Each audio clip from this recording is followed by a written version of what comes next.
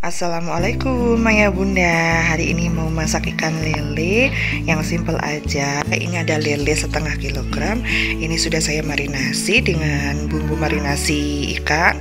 Boleh pakai bumbu marinasi ikan yang instan ya. Kemudian ini ada bawang merah 1, 2, 3, 4, 5 5 siung. Bawang putihnya 4 siung.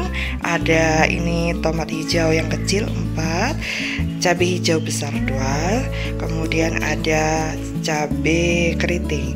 Nah, saya nggak pakai cabai rawit karena cabai keritingnya udah pedas ya. Kemudian ada garam, gula dan juga kaldu ayam bubuk. Yuk kita masak.